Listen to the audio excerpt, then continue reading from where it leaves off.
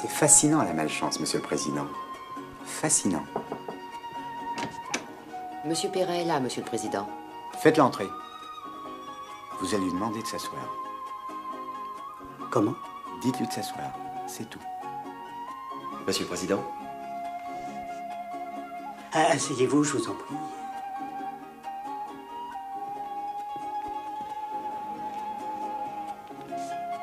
Asseyez-vous.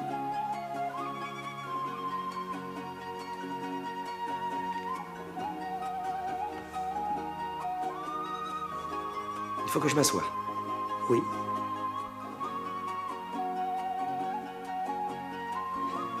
Où? Où vous voulez.